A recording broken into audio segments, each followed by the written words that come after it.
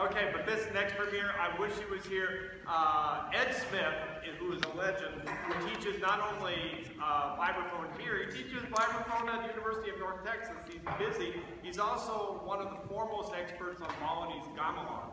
And he was asked to write a piece, so some of the techniques that you see employed by the instruments here are actually techniques that are common in Bali.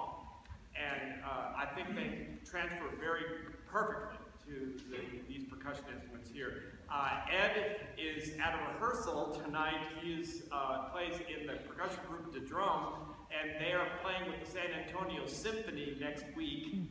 And so they're having their dress rehearsal tonight. So he couldn't be with us, but I know he's very excited that we're playing his 10 year